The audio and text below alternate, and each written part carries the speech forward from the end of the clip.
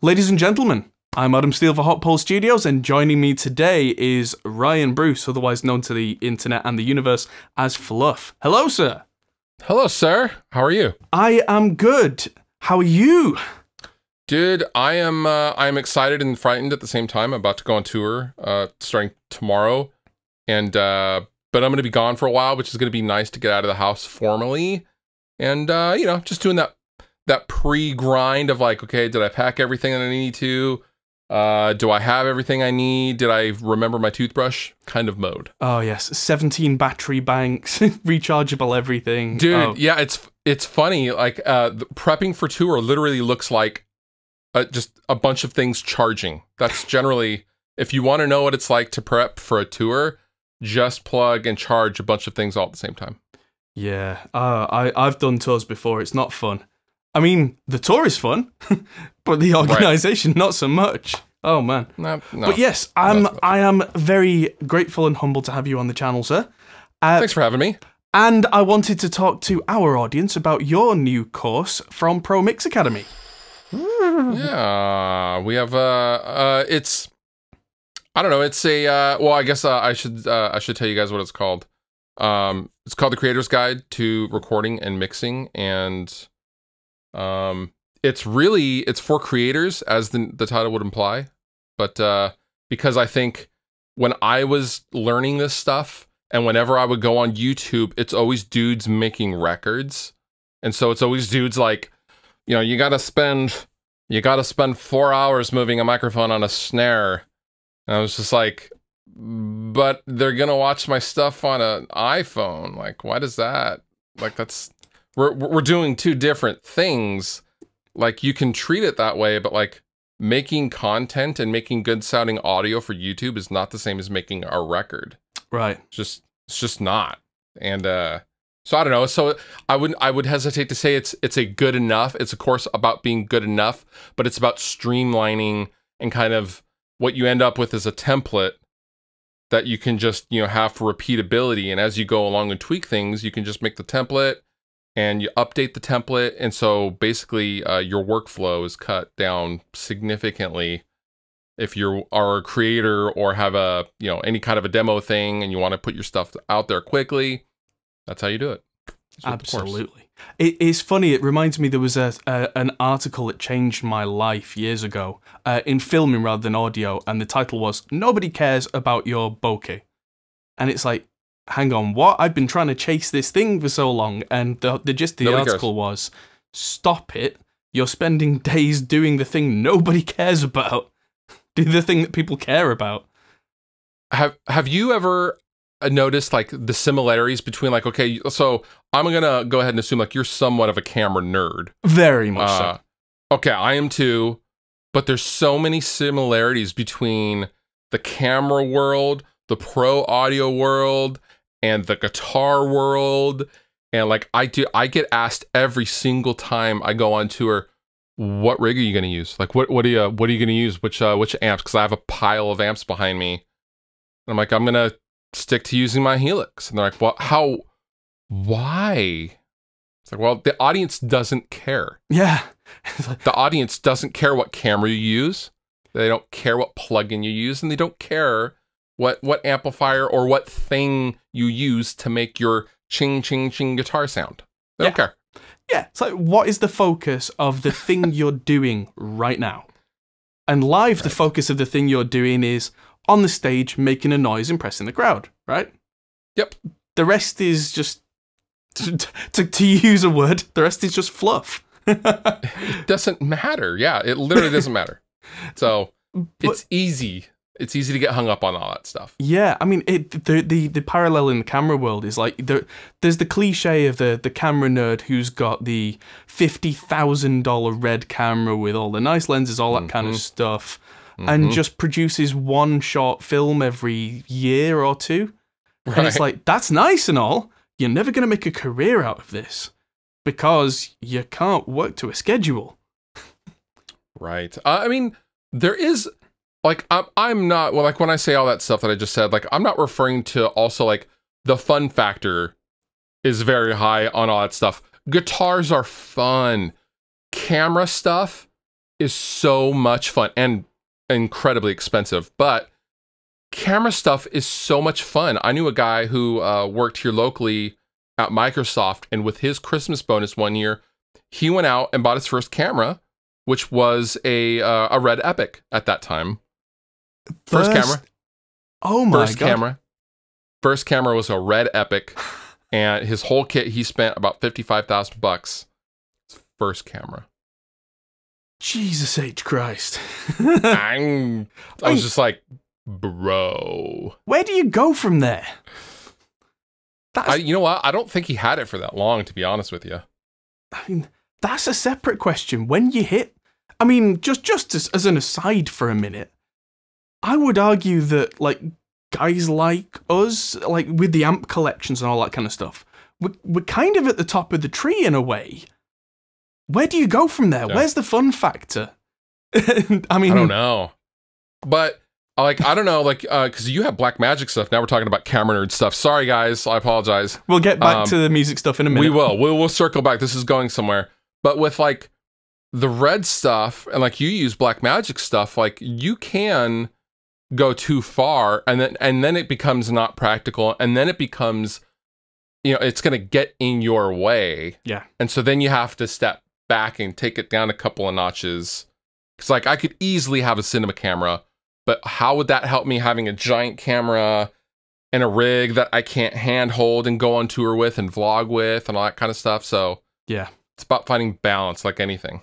Yeah, it, it's a funny thing for me that I kind of came into this sideways because I was working for a media company as a professional camera operator and that kind of thing, Oh wow. which is how I ended up doing YouTube because, funnily enough, I was Oh. watching uh, Glenn Fricker, Sounds, uh, Spectre Sound Studios, and you. And I was, Mm-hmm. Oh, this is nine years ago, eight years ago, and I was like, I have the gear, I can do this. Anybody can do this. This is easy. And then I start doing it. I'm like, this is actually really hard. really tough. Yeah. But I'm but I'm stubborn and stupid enough to keep going, which is why I'm why I'm here. But Dude, that's I feel like I feel like learning anything in this kind of world uh you know, cuz people don't even think about half the stuff like they don't think about lighting and they don't think about you know, uh sh- you know, shutter angles or frame rates or like all this stuff. I always felt for years that like I was always constantly going oh, I got to start learning that now too. Like I thought I could just point and do this. No, no. You have to learn like six other peripheral things in order to make that main thing better. yeah, but that brings us back to what I was going to talk about originally, which is kind of the start of your channel, which wasn't like that. But then No. neither was anybody else's at that point. Isn't- no, no. That's uh-uh. that's the interesting thing for me is like I remember watching some of the like Mesa amp with Blackstar cab videos way back in the day. yeah. Yeah. Yeah, dude. The uh, uh good so if you always I always tell people if you have to pick one uh good sound uh good sound and not that great video is way preferable to better video and worse sound. Yep. Uh always. And i was always focused on the sound. So like the camera quality and all that kind of the production quality was never was never that high because like i'm not a production commercial studio. Like that just wasn't a thing then. Like you know we um you had guys like Ola setting up a single using his wife's photography camera. Mm. and just doing one angle. Mero was doing the same thing. Chappers was doing the same thing. Like Mm. none of us had lights or anything. Like that wasn't Do you remember at the time, like at that point, like Ola's videos were quite often just completely out of focus. And Yes. just like you'd see half of the amp and a blurry Ola in the background just going chug chug chug. But you'd be going, Yep. damn, that sounds good. Who's this guy? Right. Right. His stuff sounded and it still does sound incredible. Mhm. And I don't know. I just I I got this the family Sony Cyber Shot and it didn't have a flip screen. So what I would do is I would put it to where I thought I would frame up correctly. I would track and make the video, take the camera down, play it back in the camera, and if I got it wrong, I simply did it again. Oh, Like that's that was the process. man. I mean, I've been through similar processes. You can see the screen behind me there. Which is slick, by the I way. I know, I love it. Uh, but that saves me a lot of time because that's just a feed from the camera. If we're doing a live stream, then I use it. But actually, right now, I'm just using it so I can turn around and go, Am I in focus? Yep. and it means that That's pretty good. I don't need to do it twice. It's, I mean, th- because it's a big camera, it doesn't have a flip out. I could put a monitor on there, but by the time I've done that, it's, it's just more money and nobody's going to care. Because they. Pe- pe- Right. People don't see that side of it. I mean, if, Oh. if if I did a panoramic view of the studio right now, I mean, this this shot looks kind of nice and crisp and clean. hmm The rest of the studio's a fucking mess. Just a bomb of cables and gear. yep. Yeah. Open pelly cases, cardboard boxes, all sorts of shit.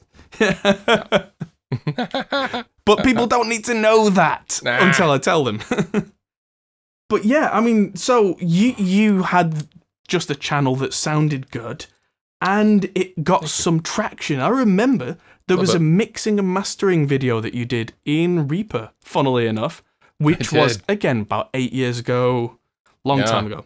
I'd been using Reaper for 2 or 3 years at that point and I just started to build out this studio like the, the skeleton Mm-hmm. this nothing like this is now. This is 10 years of building it up, right? But we had the Right. space, and I was using Reaper because I liked it, and it was watching guys like Glenn and you using it, and I was suddenly going, well, if it's good enough for these guys, fuck Pro Tools.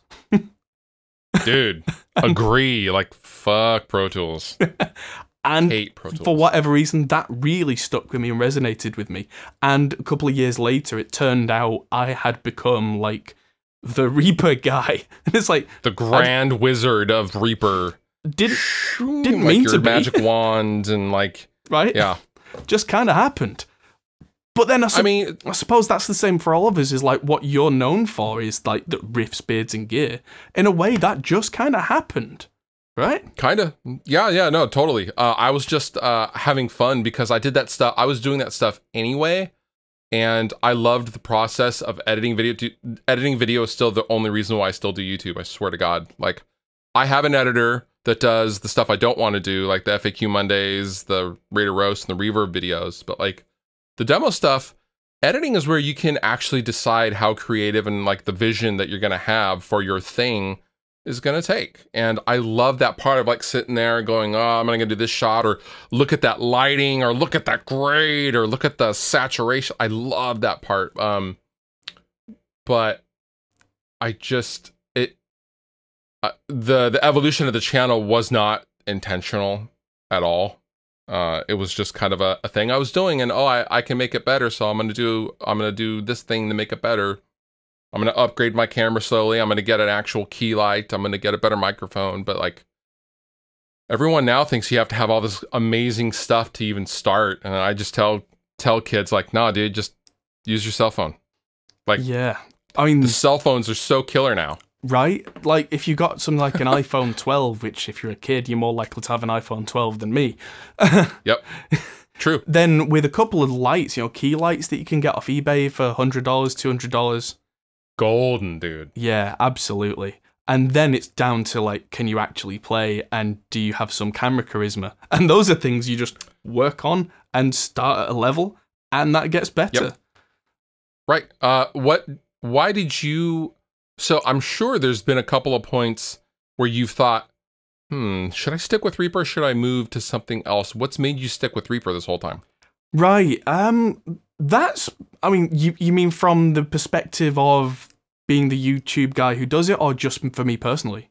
For you personally, because that, I mean that that what because in the context of evolution and changing and things and like your space started out differently. Now Yeah. you've built it all up, but the one constant is you haven't changed DAWs, or maybe you've tried other DAWs and not liked them or something like that. Because for me, I'm always trying new stuff. Right. I mean, the the DAW thing was a choice for me that was relatively early on because I I went to university to study music production, and this is like 15 years ago, right? So this is mm. when that was a whole new thing, Yeah. and I, it was such a new thing that the university I was at had like these multi-million dollar studios.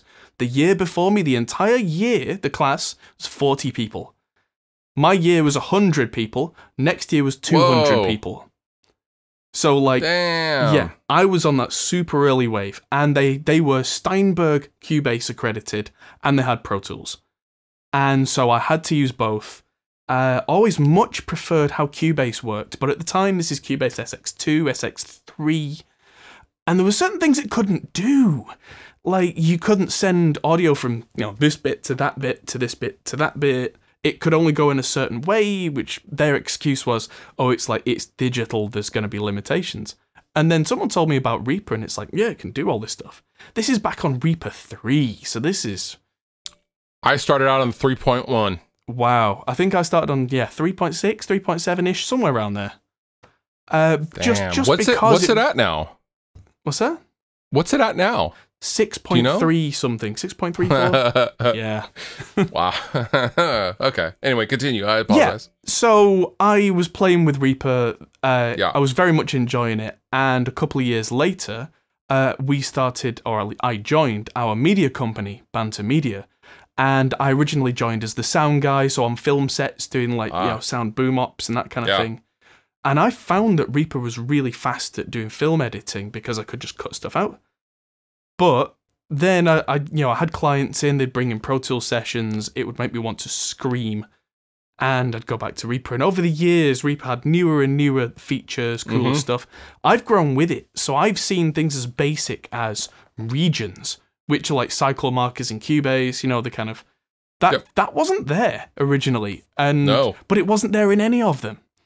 And so I've noticed that the guys in Reaper, they'll either be first to market with a new feature, or they'll Yep. see another DAW go do a cool thing and they'll be like, huh, that's a cool thing. We'll have that. But then they'll look at another cool DAW thing and go, we'll have that too. And that, and that, and that, and Right. that, and that.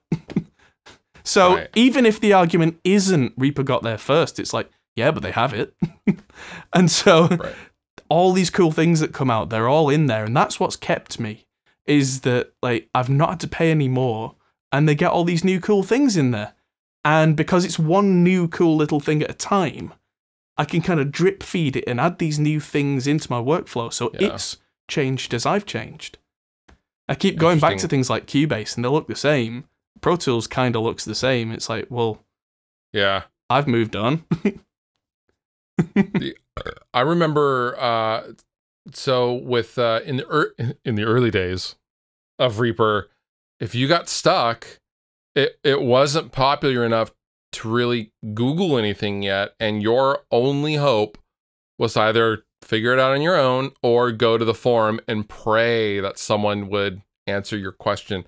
And there were like there were like three dudes, three masters that would always spend the majority of their time answering forum questions. Mhm. So I don't. I'm sure it's changed by now, uh, but it was very, very limited, and that was the one thing that uh, one of the reason why I left is because I was like, man, I got to get this done. I can't find an answer on how to do this. Oh, they call it a totally different. They don't call them plugins. They call them effects. Right. Oh, okay. Uh.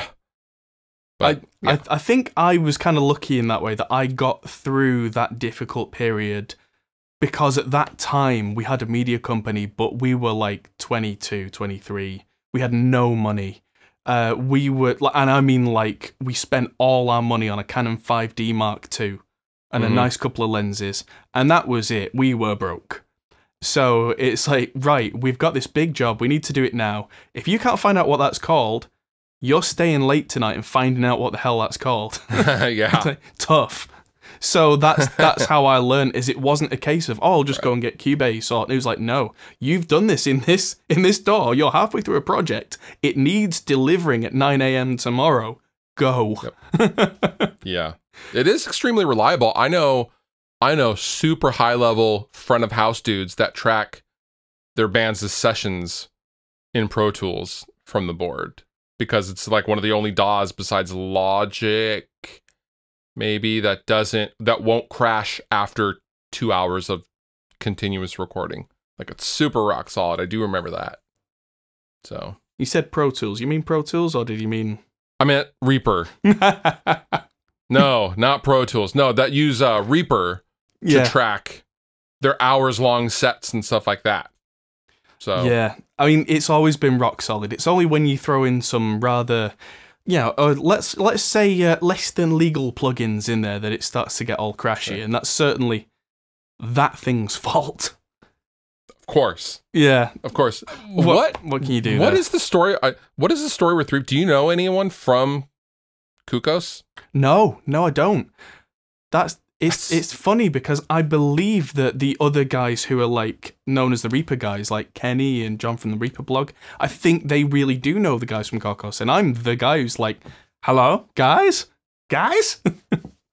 Kind of a mystery. I always picture those guys as like you know, like uh, like the dudes in like Sleep Token or something. Like they have masks and hoods and like yeah, they're like the guys in of Reaper. I know who one I of them know. is, uh, Justin, because he was the guy who developed Winamp back in the day. If you remember Winamp, right. I I- do. Winamp was awesome. Yeah, it was. And then they sold it to AOL and made hundreds of millions of dollars. And that that's another reason why I've always liked Reaper because tho- the guys who program it, they're like, we don't need the money. We we've got the money. We did the Winamp sold to AOL thing. We just program this because we we like it. and We think it's good. Right.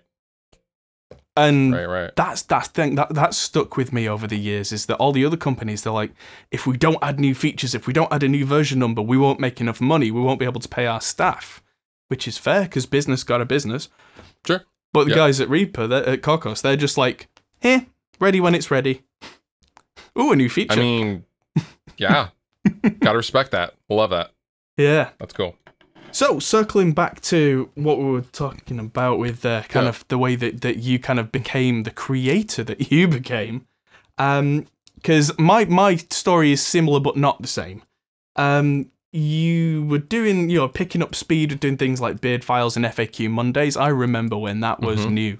I'm gonna get my Zimmer frame now. So so bad. The early ones were so bad. Yeah, but then my early stuff was really bad. I remember stuttering through half my early videos. Right. Right. Right. You're just going for it. Yeah, because you just you, you start and you're like uh uh uh uh, mm, uh, mm, uh Right. and then you don't do a retake. No. But then, and this is the key point, there was a video that you put out that I remember the day it dropped because it, it changed the way I thought. It was called Life Vlog. Oh wow. Yeah. Yeah, Uh huh. because that's not had that many views even now with people going back and watching old Mhm. videos. That for me was a key point, not just in what you were doing, but in what guitar YouTubers were doing. Because the, the, the gist of it was, I mean, you, you'd hit a bad place. Yeah.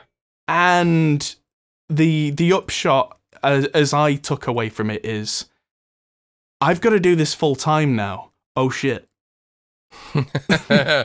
Big O shit. Yeah, I was flipping out. I should. I haven't actually. uh I haven't gone back and watched that in a long, long time. Probably since I put it out. But uh I remember being absolutely mind numb because I just been fired that day, and uh also got divorced three weeks prior. I didn't tell anybody. But what I think it did in retrospect, though, is it humanized me to the audience because when you're watching someone like do musical stuff, you know, they're they're being vulnerable but in a very specific way and I think up until that point the people that had watched my stuff didn't really necessarily know a ton about me. Like they knew some and I hadn't it's interesting to think that like I wasn't doing YouTube full time then. So like I was doing it as I had time in relation to my family life and my office job. So that was when it got super serious for me and like suddenly I was scared to death of not being able to make my mortgage and I was going to be homeless. So I had better I better just start making videos, man. Um I don't know. I have not watched that video in a long, long time, so I, I should go back and watch it. I think it might be quite illuminating of how far things have come. But then, having said that, I think things changed very quickly for you because um, Yeah. from then, I mean, I'd been watching the videos, but I hadn't been like, you know, super invested, super fan or anything like that because Sure. um, your videos, like a lot of people's, were just a guy making videos on the internet and it was cool. Totally. But then that personal thing, you go, oh, oh wow. And then I, I, I remember that I was really waiting for each one to come out then. And I, I think the next one you said that you'd had a call from Rob Chapman and he'd kind of really Yeah. lifted your spirits. Yeah, Which- I uh in and of itself was like whoa, because Chappers even then was like the top dog. he was. Yeah, yeah, and and he had I think it was a year prior had gone through something very very similar and I saw him at one of his guitar tours. He was in Seattle and he, and he was like, hey, you know, you got to come down. So me and uh, me and Jared Dines went down and uh, said hi to him. And uh, he was like, it's going to be okay, mate. It's going to be all right. I trust me. Like I'm, I'm much further in the process than you are. It'll be just fine. You'll be just fine. And I was like, wow. Okay. Thank you, Mr. Chappers. like, I don't know. It was like this thing, like no, no one put it like he did. And it was just, uh, it was a, it was a very moment of clarity for me, I guess. Right. It's funny. I went full time doing this about a year ago, and if had if someone had said something similar to me earlier, I think I would have done it earlier. But I was terrified of not paying the bills and that kind of thing. So I Dude. I was working like 16, 18 hour days to make sure that I Yep. could pay the bills. But then when I went full time, I realized, yeah, actually, I can do this. Yeah. But, you got to take that leap, man. You gotta, Yeah. you got to jump. Absolutely, but having having that routine and the templates, like you were saying, that that whole thing. I mean, I'm guessing that's built up over the years, incrementally, bit by Yeah. bit. Yeah. I- or did you have a moment at that point where you said, "Right, this is how I'm going to make all these videos," or was it just a mad scramble? No, no, it was a mad scramble, and then and then I think it was uh, I, I have uh, a good friend of mine, Jason, who's uh, he's not a YouTuber, but uh, he's a brilliant musician and engineer, techie guy, and it was him, I believe, that was like, you know, if you make that same thing over and over again, like you know, like referring to like, I'm gonna make a, a project for a, a demo song. Why don't you just make a template so then you can just open it straight up? And I was like what? Like it was mind blowing what? Yeah just just take out all the audio but keep everything else. That way you can just fill in the audio and it's all routed and stuff. And i was like oh my god. Like so i used to start from scratch Yeah. every time for years. Right, so so that was just like oh man that was just mind blowing for me right. It's funny. I still start from scratch every time with the audio, but I would not recommend that to anybody. I do that for the love of it and not because of any other reason. That's my thing. Like the camera for me now has like I turn it on, it's like this setting, that setting, this setting, done. Go. Microphone goes in, done. Template essentially. Yep. Same thing. But the audio for me is like do what I say, not what I do, because that's my that's my hobby, right? it's baking it's baking but something from scratch Right. But like I like as far as I correct me if I'm wrong, but you were a guitar player first who fell into doing the production thing. totally I yeah very much so Yeah, I was more of a production guy first who fell into the the music stuff. I mean, I played a, a lot as a teenager and in my twenties, but production is me, right? Yeah. So f- for Yeah. me, doing that is like this. That that is what I love doing. But oh boy, don't don't do that. That's crazy talk. Don't do that, kids. Don't do that. yeah. Bad. It's But pretty yeah, bad. it's it's funny. It was only a good couple of years after that that big leap that some videos went absolutely crazy. If you remember how big Huh. like the cheapest guitar on eBay, Amazon, those videos went poof. Yeah. So some of, that's actually like some of my most viewed videos even to this day is uh, some of the riff wars, um, cheapest uh, guitar on Amazon, cheapest guitar on eBay, Wish, Mm. all that, But- all that kind of stuff. But isn't it funny how it's n- it's not like you woke up one day and said, "I'm gonna make a million views from the cheapest guitar on Amazon." Nope. We can't predict what videos of ours are gonna have big hits and which ones aren't. No, I was bored. I was just bored of what I was doing at the time. Uh, I was so burnt out and like I didn't want to be I didn't want to just be guitar demo guy. And I was like, "Oh, I'm going to get the I don't know, I'm going to get the ch- what is the cheapest guitar on Amazon? Oh, there it is. Yeah, I'll check it out. Hmm. Like that's all it was. Like I don't know. I, not too much thought go, went into it, unfortunately. and yet, and yet, it's funny what happens, isn't it? But yeah, that that's the thing about being a creator for me is that I I set out to go right. This week I'm making this video and that video. If they do well, great. If they don't, fine. Yeah. You know, as as long as it doesn't turn out to be a complete bag of trash. If it's like if it's a video that I'm happy with, but it doesn't go like, too far. Some of the videos that I make are super nerdy and super niche, and that's okay. You know, Love that. because I'm making the videos I want to make. Right. And if they happen to resonate with people, great. It, yeah, is it, would you say that works for you?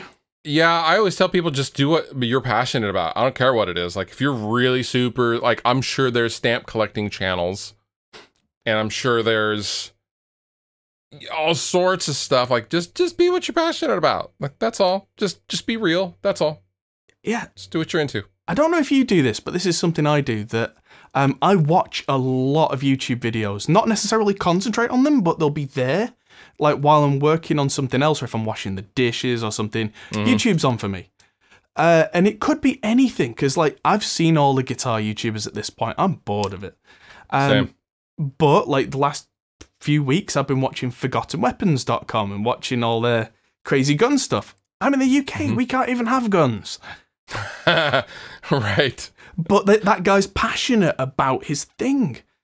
I've been Right. watching speedrunners play games that are meant to be like 40 hour games in 40 yeah, minutes. Same. Same old NES speedruns of like Mario 3 and Zelda and like yeah.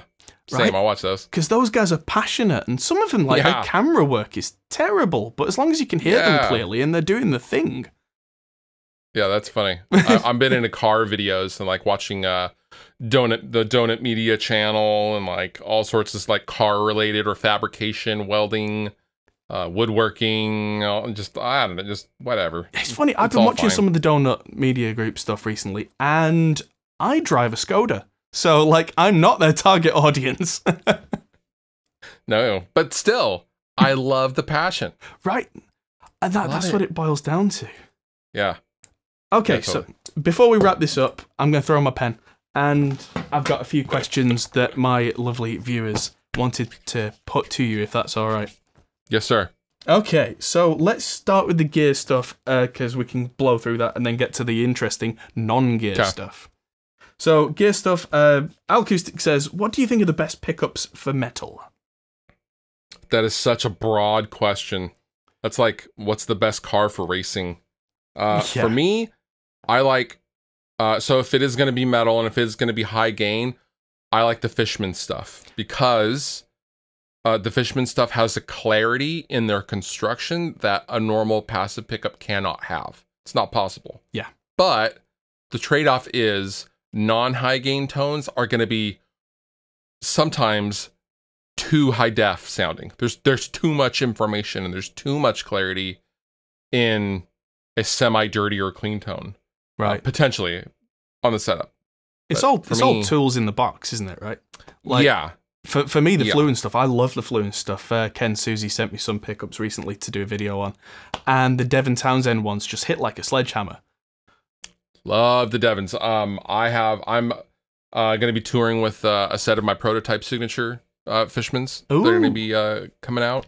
But uh, the, for me, the Fishman stuff is like, eh, I'm done searching for pickups. This is this is it.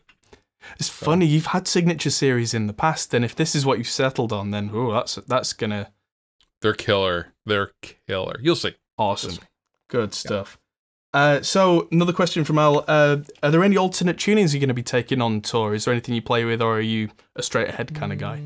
No, we're uh we're basically drop D for wo- I think uh, for this set one song, uh, and then drop C sharp for the whole set.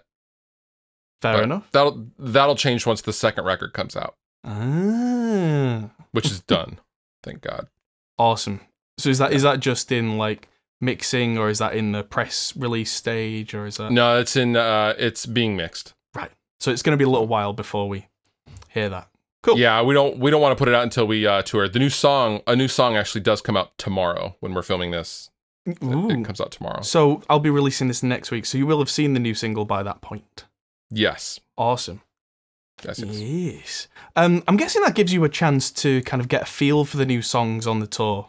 So that's something a lot of bands have done for years and years, is actually play them out live, right? Yeah, we're gonna play just this one. Uh, we're not gonna play any of the other stuff off the the unreleased record Okay. yet, but there'll be future tours where we start playing that stuff. please tell me that the new record doesn't sound like that new Guns N' Roses single. But uh, well, no, it has that vocal effect throughout the whole thing. All super distorted, megaphone. Yeah, whole thing, whole record. Sweet. Cool. Uh, question from my friend Scott. Um, if you had to choose between a dual or triple rectifier, why would it be an ENGL Savage? Mm, first of all, it wouldn't be an ENGL Savage. That's Scott from Um, Chernobyl Studios. So Oh, no, it's funny he brought up the point of uh, Rammstein. It's like basically makes dual rectifiers sound like angles, and I was like, wow, yeah, you are right about that. Yep, they're they're a funny one, Rammstein. Yeah. But yeah, Scott just being a jerk. Thanks, Scott. Dick. And uh, last gear question: um, Is there any particular piece of gear over the years that has just surprised you about either how good it was or how bad it was that you didn't expect? Um, there was a couple. The fish, the initial Fishman stuff, uh, when Fluence first became a thing, I think it was five, six years ago now. Um, I was so burnt out at that point. Ken Susi was like, is an actual like old friend of mine. He was in town with Unearth, and uh, he was like, "You got to try like these new pickups I'm I'm working with." And I was like, "I don't care, I don't care." Like, yeah, oh yeah, they're gonna have like high end and low end and oh whoopity doo and uh and he came over to my house and he was like dial in the best tone that you have with the best stuff that you have with your stuff i was like okay and i dialed in just like this crazy metal tone with like a i think it was a hughes and kettner triamp or maybe it was a rectifier or something i can't really remember. And i had my rd with some custom pickups and like it sounded really good. And he plugged in this $300 hagstrom with fishman some prototype fishman fluence in him. and I just I was so mad at him because uh, they sounded they sounded like the voice of God just breathing on you, and uh, I was like, "Damn, I, I'm not mad at that. That's really that I was I was shocked to say the least." But uh, yeah, the Fishman stuff, um, the Peppers Pedals Dirty Tree boost, I was shocked dude that's that's the greatest boost pedal for rectifier ever made Yeah, it's really good. I, I It's bought this really because good. of your shout out, and you were you were not wrong. it's it's proper brilliant as they say Yes, I, really really good I also ended up with the Donna Softgate, funnily enough. dude that's another one i i plugged that in and i couldn't believe what I was like "Wha- how yeah so those are the three that have just shocked me like legit shocked me Good stuff. Anything bad? I mean, that that was really built up with hype and was just like, hmm.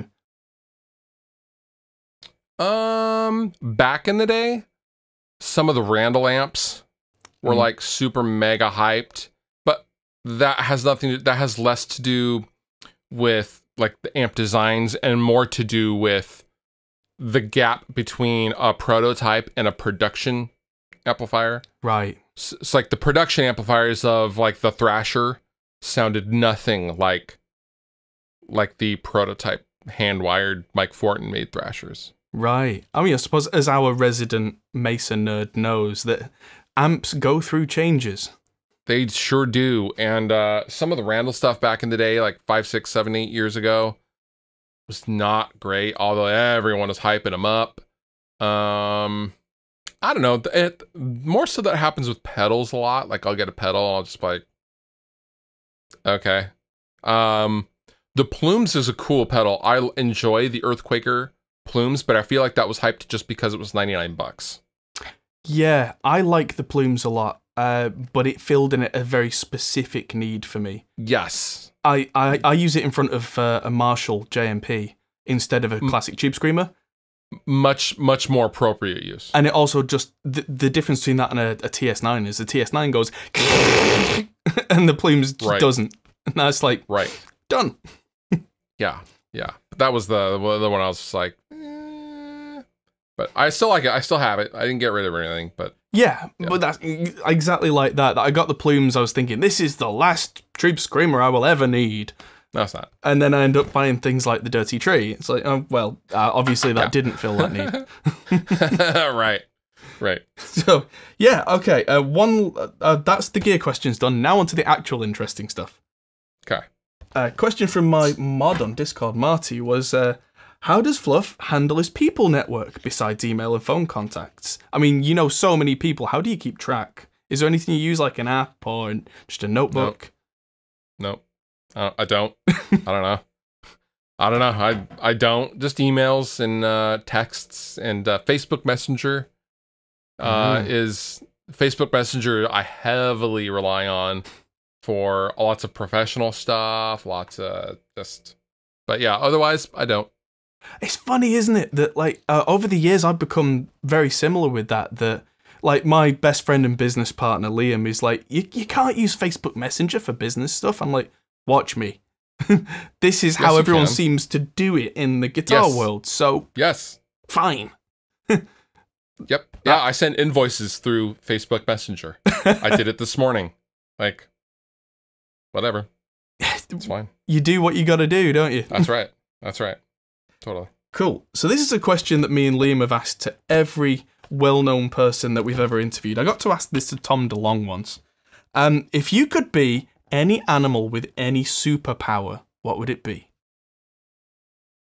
Uh, I would be uh, uh, any animal. Man, I would be a shark with lasers. Awesome. Shark Nothing with wrong with a shark with lasers. What did Yeah, What did Tom baby. say? What was his answer? uh, his was, uh, if I remember rightly, it was a sheep that could fly. I, I thought about flying as well, because flying is like who do, who wouldn't want to fly? It's kind of a go-to, isn't it? I mean, the other one that I would be is like an invisible T-Rex. just like Ooh, that's pretty good too. just just random cars just crushing. that's pretty good. Uh, yeah. Um. So two more questions. One from uh, Danny in our Discord. Uh, what piece of not gear, not guitar gear, but what one thing could you not live without? Um, honestly, I just got it. Uh, I think two weeks ago, and it's totally transformed how fast I'm able to work and edit video. Uh, my Elgato Stream Deck, Ooh, yes, which I see you have right behind you. I do. I use that. Um, I actually put that in my bag and it travels with me.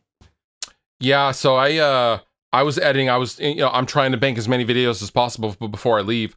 I shot uh I shot 10 videos over the course of 3 days and I edited 5 of them. 3 days while my lady was gone on a trip. So like I just had the house to myself.